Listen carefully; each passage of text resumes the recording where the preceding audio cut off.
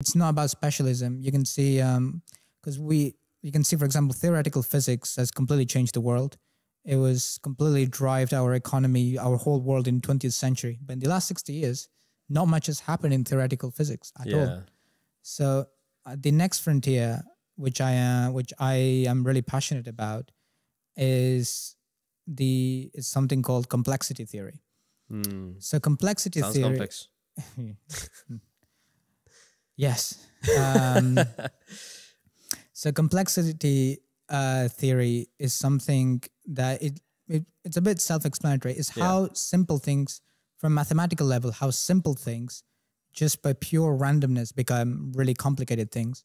So how simple atoms become molecules, molecules become the first living organisms, which become bacteria, which become biology, which Mhm. become living organisms.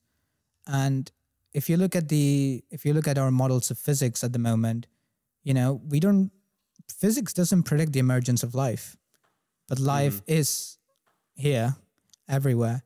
We and still see It It needs to so and this is something Schrodinger, the inventor, one of the OG inventors of quantum mechanics, hmm uh, wrote. He wrote a book called What is Life? And it was all about this.